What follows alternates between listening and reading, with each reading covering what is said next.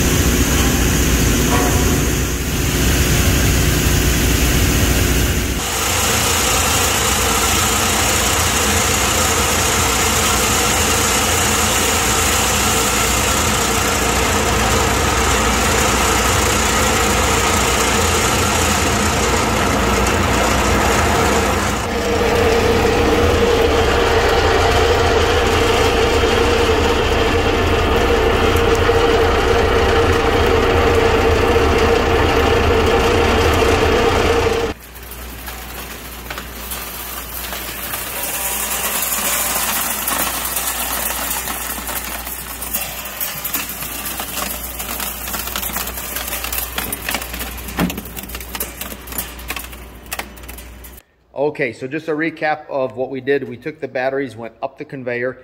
I probably would use a different style cleat if we were to build a system specifically for this, but we went with regular AA and AAA and D and C batteries up the conveyor. Uh, and then we also ran some lantern batteries. We went up the conveyor into the vertical mill, from the vertical mill to the cyclone, blower cyclone, uh, and then we took all of those fractions and brought it over to the screener. The screener gave us the black mass. Uh, and I did it in, I did it in, uh, I, I did keep them separate. I'm really happy with the results. So we did two samples. One was of the, uh, just the, the little batteries, the, you know, all the way up to D and C. And then the second row here is from the lantern batteries. So we have the steel, uh, then we have the dense material. So in here you have, uh, you see some brass pins and, and some plastic uh, and then we have the fluff. So this, this bag is super light. Um, and then up here, same thing. So the, uh, the steel, you can see that's very, very clean steel. Uh, and then we have the dense fraction, and this is, um, you can see a little bit of, uh, it's plastic and then a little bit of non-ferrous, some, uh, some brass pins. Not a tremendous amount, so I'm not sure how much value we would get by adding this, putting this on the air table or on a wet table. But um, that's that. And then the fluff, this is super light. Um, and then the black mass.